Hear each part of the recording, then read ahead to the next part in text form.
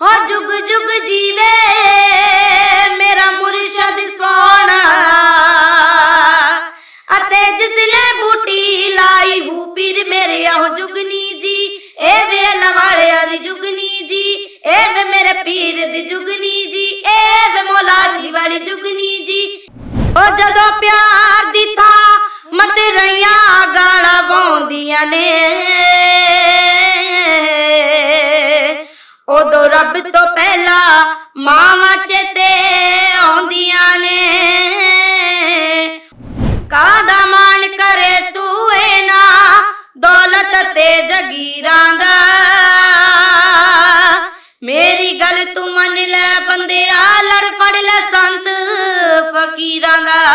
ਸਤਿ ਸ਼੍ਰੀ ਅਕਾਲ ਤੁਸੀਂ ਦੇਖ ਰਹੇ ਹੋ ਪੰਜਾਬੀ ਬੁਲੇਟਿਨ।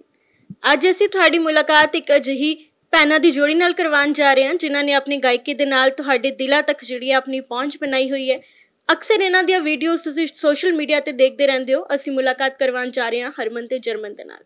ਸਭ ਤੋਂ ਪਹਿਲਾਂ ਤਾਂ ਮੈਂ ਜਾਣਨਾ ਚਾਹੁੰਦੀ ਹਾਂ ਕਿ ਤੁਸੀਂ ਸਾਡੇ ਦਰਸ਼ਕਾਂ ਨੂੰ ਦੱਸ ਦਿਓ ਕਿ ਤੁਹਾਡੇ ਚੋਂ ਹਰਮਨ ਕੌਣ ਹੈ ਤੇ ਜਰਮਨ ਕੌਣ ਹੈ? ਮੈਂ ਹਰਮਨ ਤੇ ਮੈਂ ਵੱਡੀ। ਮੈਂ ਜਰਮਨ ਮੈਂ ਛੋਟੀ। ਸਭ ਤੋਂ ਪਹਿਲਾਂ ਗਾਇਕੀ ਦੇ ਨਾਲ ਤੁਸੀਂ ਆਪਣੀ ਵੱਖਰੀ ਪਹਿਚਾਨ ਬਣਾਈ ਹੈ ਤੇ ਸਭ ਤੋਂ ਪਹਿਲਾਂ ਸ਼ੁਰੂਆਤ ਅਸੀਂ ਤੁਹਾਡੀ ਗਾਇਕੀ ਤੋਂ ਹੀ ਕਰਨਾ ਚਾਹਾਂਗੇ। ਇੱਕ ਗੀਤ ਸਾਡੇ ਦਰਸ਼ਕਾਂ ਨਾਲ ਸਾਂਝਾ ਕਰ ਦਿਓ। ਹਾਂਜੀ। ਮਾਪੇ ਮਰ ਗਏ ਜਿਨ੍ਹਾਂ ਦੇ, ਮਾਪੇ ਮਰ ਗਏ ਜਿਨ੍ਹਾਂ ਦੇ, ਮਾਪੇ ਮਰ ਗਏ ਜਿਨ੍ਹਾਂ ਦੇ, ਮਾਪੇ ਮਰ ਗਏ ਜਿਨ੍ਹਾਂ ਦੇ।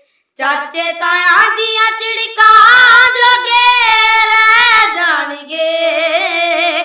ਮਾਪੇ ਮਰ ਗਏ ਜਿਨ੍ਹਾਂ ਦੇ, ਮਾਪੇ ਮਰ ਗਏ ਜਿਨ੍ਹਾਂ ਦੇ।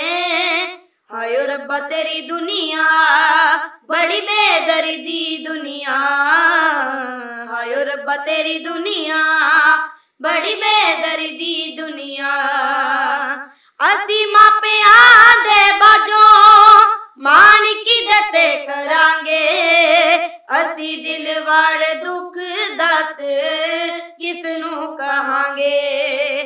ਅਸੀਂ ਦਿਲ ਵਾਲੇ ਦੁੱਖ ਦੱਸ ਕਿਸ ਨੂੰ ਕਹਾਂਗੇ? ਜਿੱਥੇ ਮਰਜ਼ੀ ਸ਼ਰੀਕ, ਜਿੱਥੇ ਮਰਜ਼ੀ ਸ਼ਰੀਕ, ਜਿੱਥੇ ਮਰਜ਼ੀ ਸ਼ਰੀਕ ਸਾਨੂੰ ਲੈ ਜਾਣਗੇ। ਮਾਪੇ ਮਰ ਗਏ ਜਿਨ੍ਹਾਂ ਦੇ ਮਾਪੇ ਮਰ ਗਏ ਜਿਨ੍ਹਾਂ ਦੇ। ਕੀ ਬਾਤ ਹੈ ਕੀ ਆਵਾਜ਼ ਹੈ ਤੁਹਾਡੀ। ਸਭ ਤੋਂ ਪਹਿਲਾਂ ਤੇ ਮੈਂ ਹੁਣ ਜਾਨਣਾ ਚਾਹਾਂਗੀ ਕਿ ਤੁਹਾਡੀ ਜਿਹੜੀ ਗਾਇਕੀ ਦੀ ਸ਼ੁਰੂਆਤ ਹੈ ਉਹ ਕਦੋਂ ਕੀਤੀ ਸੀ ਤੁਸੀਂ? ਅਸੀਂ 4-5 ਸਾਲ ਦੀ ਉਮਰ ਤੋਂ ਹੀ ਗਾਇਕੀ ਦੀ ਸ਼ੁਰੂਆਤ ਕਰਤੀ ਸੀ। ਜਰਮਨ ਤੁਸੀਂ? 4-5 ਸਾਲ ਦੀ। ਹੁਣ ਤੁਹਾਡੀ ਉਮਰ ਕਿੰਨੀ ਹੈ? ਮੈਂ 15 ਇਅਰਸ 올ਡ ਮੈਂ 14 ਤੁਸੀਂ ਸਕੂਲ ਸਟੱਡੀ ਕਰ ਰਹੇ ਹੋ ਫਿਲਹਾਲ? ਹਾਂਜੀ ਹਾਂਜੀ 10th ਕਲਾਸ ਓਪਨ ਸਟੱਡੀ ਤੁਸੀਂ? 8th ਗਾਇਕੀ ਦੀ ਪ੍ਰੈਕਟਿਸ ਦੀ ਗੱਲ ਕਰੀਏ ਤਾਂ ਕਿੰਨਾ ਸਮਾਂ ਤੁਸੀਂ ਆਪਣੀ ਗਾਇਕੀ ਨੂੰ ਪ੍ਰੈਕਟਿਸ ਨੂੰ ਦਿੰਦੇ ਹੋ? ਕਿਉਂਕਿ ਗਾਇਕੀ ਨੂੰ ਜਿੰਨਾ ਵੀ ਸਮਾਂ ਦਈਏ ਘੱਟ ਆ ਫਿਰ ਵੀ ਸਾਰਾ ਕੁਝ ਕਰਕੇ ਸ਼ੋਜ਼ ਲਗਾ ਕੇ ਸਮਾਂ ਜ਼ਰੂਰ ਦੇਈਦਾ ਗਾਇਕੀ ਨੂੰ। ਹਾਂਜੀ। ਸੇਮ ਸਟੱਡੀ ਨੂੰ ਫਿਰ ਕਿਵੇਂ ਮੈਨੇਜ ਕੀਤਾ ਜਾਂਦਾ ਹੈ? ਕਿਉਂਕਿ 10th ਕਲਾਸ ਇਸ ਵਾਰੀ ਬੋਰਡ ਦੀ ਕਲਾਸ ਹੈ ਫਿਰ ਕਿਵੇਂ ਮੈਨੇਜ ਕਰਦੇ ਹੋ ਤੁਸੀਂ ਆਪਣੀ ਸਟੱਡੀ ਨੂੰ ਗਾਇਕੀ ਨੂੰ ਸਾਰਾ ਕੁਝ ਤੁਸੀਂ ਹੈਂਡਲ ਕਰਨਾ ਹੈ? ਸਾਰਾ ਕੁਝ ਮੈਨੇਜ ਕਰ ਲਈਦਾ। ਸਟੱਡੀ ਨੂੰ ਵੀ ਉਨਾ ਹੀ ਟਾਈਮ ਦੇਈਦਾ ਸਿੰਗਿੰਗ ਨੂੰ ਵੀ ਉਨਾ ਹੀ ਟਾਈਮ ਦੇਈਦਾ। ਅਕਸਰ ਅਸੀਂ ਤੁਹਾਨੂੰ ਦੇਖਦੇ ਹਾਂ ਕਿ ਤੁਸੀਂ ਟ੍ਰੇਨਿੰਗ ਕੀਤੀ ਹੁੰਦੀ ਹੈ। ਕੋਆਰਡੀਨੇਸ਼ਨ ਕਿਵੇਂ ਹੁੰਦਾ ਫਿਰ ਆਪਣੇ ਕੱਪੜਿਆਂ ਨੂੰ ਲੈ ਕੇ? ਹਾਂਜੀ ਅਸੀਂ ਸ਼ੁਰੂ ਤੋਂ ਹੀ ਛੋਟੇ ਹੁੰਦੇ ਤੋਂ ਹੀ ਟ੍ਰੇਨਿੰਗ ਕਰਕੇ ਕੱਪੜੇ ਪਾਈਦੇ ਆ ਹਾਂਜੀ। ਕੱਪੜਿਆਂ ਦੀ ਕੋਆਰਡੀਨੇਸ਼ਨ ਦੀ ਤਾਂ ਗੱਲ ਹੋ ਗਈ। ਗਾਇਕੀ ਦੇ ਵਿੱਚ ਕੋਆਰਡੀਨੇਸ਼ਨ ਕਿਵੇਂ ਬਣਦਾ ਹੈ? ਕਈ ਵਾਰ ਜਦੋਂ ਸ਼ੁਰੂਆਤ ਕੀਤੀ ਹੋਏਗੀ ਤਾਂ ਮੁਸ਼ਕਲਾਂ ਵੀ ਆਈਆਂ ਹੋਣਗੀਆਂ ਕਿਉਂਕਿ ਕਈ ਵਾਰ ਹੁੰਦਾ ਹੈ ਕਿ ਸਾਡੀ ਸੋਚ ਨਹੀਂ ਮੇਲ ਖਾ ਰਹੀ ਜਾਂ ਫਿਰ ਸਾਡੇ ਕਈ ਵਾਰ ਸ਼ਬਦ ਮੇਲ ਨਹੀਂ ਖਾਂਦੇ ਤਾਂ ਫਿਰ ਕੋਆਰਡੀਨੇਸ਼ਨ ਕਿਵੇਂ ਕਰਦੇ ਹੋ? ਵੈਸੇ ਤਾਂ ਅਸੀਂ ਛੋਟੇ ਹੁੰਦੇ ਹੀ ਗਲੀ ਮਹੱਲੇ 'ਚ ਵਿਆਹ ਹੁੰਦਾ ਸੀ ਤਾਂ ਇਕੱਠਿਆਂ ਨੇ ਹੀ ਬੋਲੀਆਂ ਪਾਣੀਆਂ ਤੇ ਕਦੀ ਇਦਾਂ ਦਾ ਫੀਲ ਨਹੀਂ ਹੋਇਆ ਹਮੇਸ਼ਾ ਸਾਡਾ ਸਿੰਕ ਰਹਿੰਦਾ। ਤੇ ਜੇ ਕਿਤੇ ਇਦਾਂ ਹੋ ਵੀ ਜਾਵੇ ਤਾਂ ਬੈਠੀ ਦਾ ਪ੍ਰੈਕਟਿਸ ਕਰੀਦੀ ਦੂਰ ਕਰ ਲਈਦਾ ਹਾਂਜੀ। ਸ਼ੌਂਕ ਕਿਵੇਂ ਪਿਆ ਸੀਗਾ ਗਾਇਕੀ ਦਾ? ਸਾਡੇ ਘਰ ਵਿੱਚ ਸੰਗੀਤ ਦਾ ਮਾਹੌਲ ਸੀ। ਮੇਰੇ ਪਾਪਾ ਇਨਸਟਰੂਮੈਂਟ ਪਲੇ ਕਰਦੇ ਸੀ ਤੇ ਮੰਮਾ ਨੇ ਅਕਸਰ ਕੋਈ ਵੀ ਕੰਮ ਕਰਨਾ ਗਾਈ ਜਾਣਾ ਗਾਈ ਜਾਣਾ ਤਾਂ ਉਹਨਾਂ ਤੋਂ ਸਾਨੂੰ ਵੀ ਸ਼ੌਂਕ ਪੈ ਗਿਆ। ਹਰਮਨ ਤੁਹਾਨੂੰ? ਜਰਮਨਜੀਤ? ਮੈਨੂੰ ਵੱਡੀ ਸਿਸਟਰ ਤੋਂ। ਹਾਂਜੀ। ਤੁਸੀਂ ਇਹਨਾਂ ਨੂੰ ਸੁਣਦੇ ਸੀਗੇ? ਹਾਂਜੀ। ਹੁਣ ਤਾਂ ਤੁਸੀਂ ਕਹਿ ਰਹੇ ਹੋ ਕਿ ਤੁਸੀਂ ਓਪਨ ਪੜ੍ਹਦੇ ਹੋ।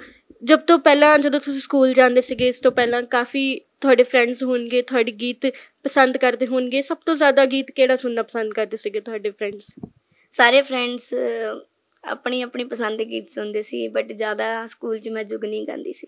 ਜੀ ਸਾਡੇ ਨਾਲ ਵੀ ਸਾਂਝੀ ਕਰ ਦਿਓ ਇੱਕ ਵਾਰ। ਹਾਂਜੀ। ਅਲਫੀ ਅੱਲਾ ਚੰਬੇ ਦੀ ਬੂਟੀ ਹੋ ਮੇਰੇ ਸ਼ਦ ਮਨ ਵਿੱਚ ਲਾਈ ਹੂ। ਹੋ ਨਬੀ ਅਸ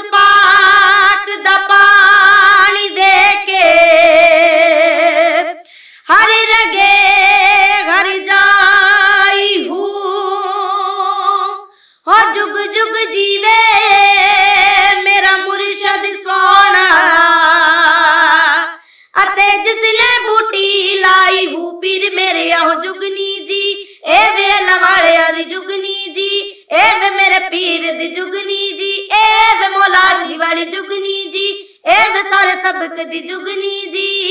ਦਮ ਗੁਟਕੂ ਦਮ ਗੁਟਕੂ ਦਮ ਗੁਟਕੂ ਦਮ ਗੁਟਕੂ ਦਮ ਗੁਟਕੂ ਦਮ ਗੁਟਕੂ ਗੁਟਕੂ। ਕਰੇ ਸਾਈਂ ਤੇ ਕਲਮਨ ਵੀਦਾ ਪੜੇ ਸਾਈਂ ਪੀਰ ਮੇਰੇ ਆਹੋ ਜੁਗਨੀ ਜੀ। ਏ ਵੇ ਅੱਲਾ ਵਾਲਿਆਂ ਦੀ ਜੁਗਨੀ ਜੀ, ਏ ਵੇ ਮੇਰੇ ਪੀਰ ਦੀ ਜੁਗਨੀ ਜੀ, ਏ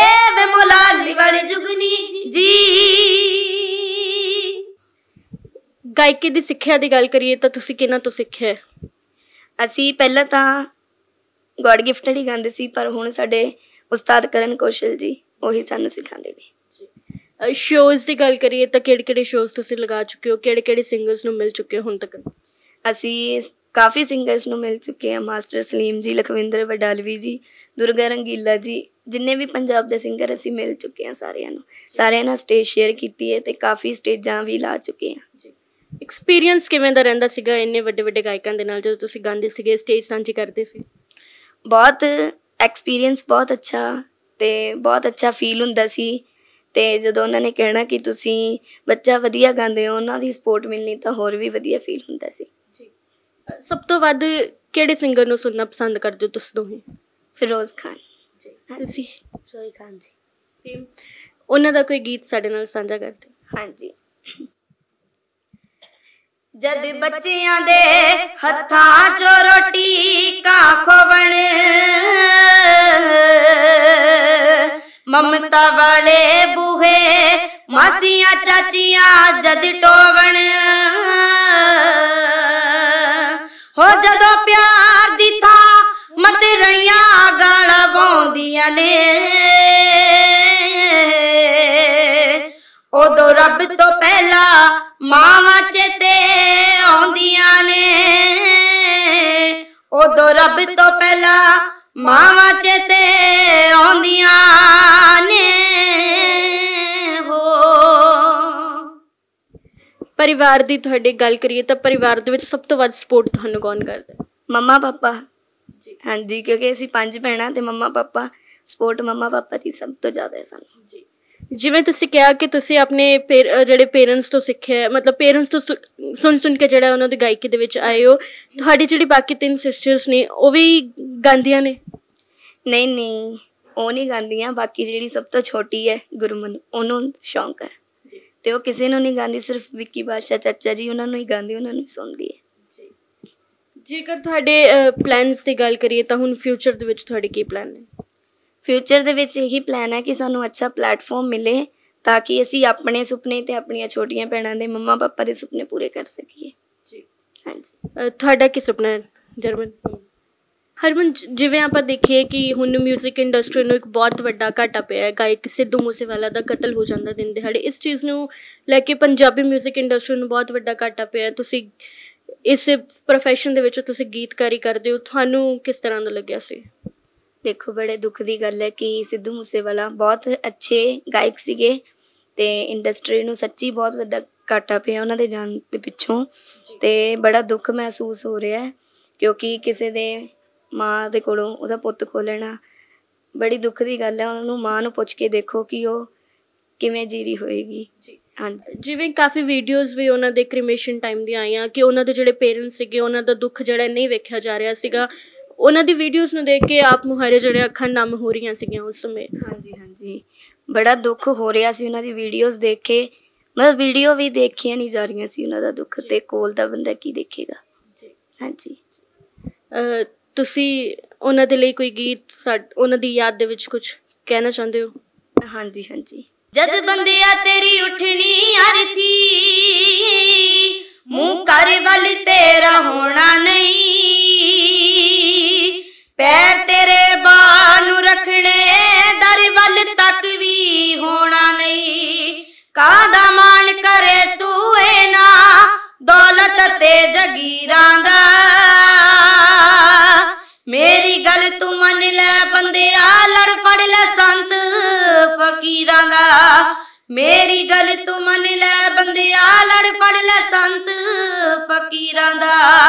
ਚਾਰ ਤੇਰੇ ਨੇ ਕਾਨੀ ਬਣਨਾ ਤੇ ਚਾਰ ਹੀ ਦਿਨ ਦਾ ਰੋਣਾ ਏ। ਚਾਰ ਹੀ ਦਿਨ ਨੂੰ ਭੁੱਲ ਜਾਣਾ, ਚੌਥੇ ਤੇ ਕਿਸੇ ਨਾ ਹੋਣਾ ਏ। ਕੋਡੀ ਮੁੱਲ ਨੀ ਪੈਣਾ ਤੇਰੀਆਂ, ਸੋਹਣੀਆਂ ਏ ਤਸਵੀਰਾਂ ਦਾ। ਮੇਰੀ ਗੱਲ ਤੂੰ ਮੰਨ ਲੈ ਬੰਦਿਆ, ਲੜ ਪੜ ਲੈ ਸੰਤ ਫਕੀਰਾਂ ਦਾ। ਹਰ ਹਰਮਨ ਜਰਮਨ ਨੇ ਸੱਚ ਲਿਖਿਆ ਤੇ ਸੱਚ ਹੀ ਇਹ ਨਾ ਗਾਉਣਾ ਏ।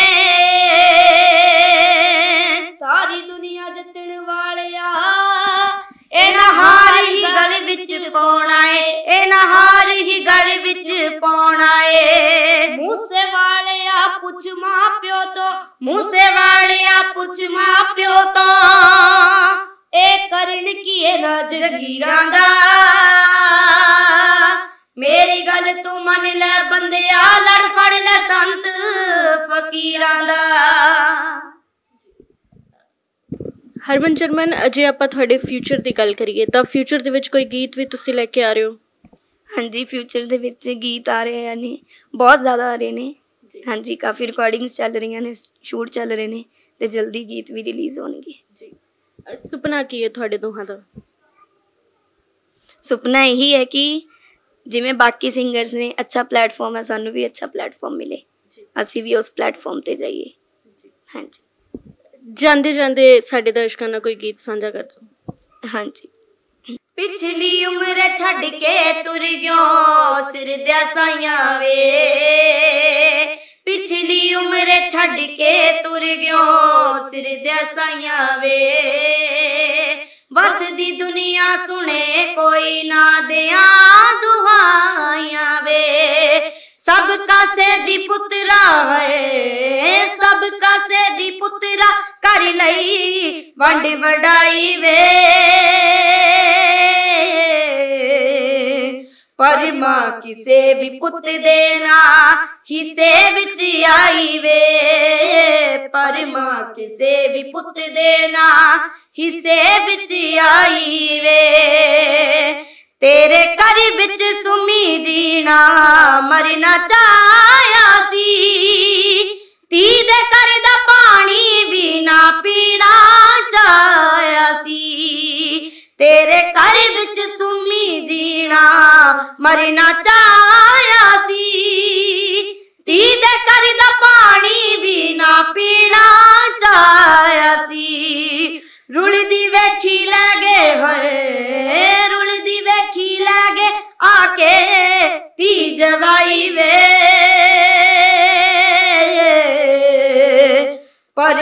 ਕਿਸੇ ਵੀ ਪੁੱਤ ਦੇ ਨਾ ਹਿੱਸੇ ਵਿੱਚ ਆਈ ਵੇ ਪਰ ਮਾਂ ਕਿਸੇ ਵੀ ਪੁੱਤ ਦੇ ਨਾ ਹਿੱਸੇ ਵਿੱਚ ਆਈ ਵੇ ਹਰਮਨ ਤੇ ਜਰਮਨ ਜੇਕਰ ਤੁਹਾਨੂੰ ਕੋਈ ਕੰਟੈਕਟ ਕਰਨਾ ਚਾਹਵੇ ਸ਼ੋਜ਼ ਦੇ ਲਈ ਸਿੰਗਿੰਗ ਦੇ ਲਈ ਤਾਂ ਕਿਵੇਂ ਕਰ ਸਕਦਾ ਹੈ ਸਾਡਾ ਨੰਬਰ 9779162761 97791 ਹਾਂਜੀ ਤੇ ਇਹ ਸੁਣਿਆ ਕਿ ਇਹਨਾਂ ਦੀ ਆਵਾਜ਼ ਇੰਨੀ ਸੋਹਣੀ ਹੈ, ਹਰਮਨ ਤੇ ਜਰਮਨ, ਅਸੀਂ ਤੁਹਾਡੀ ਜਿਨ੍ਹਾਂ ਦੇ ਨਾਲ ਮੁਲਾਕਾਤ ਕਰਵਾਈ ਸੀ।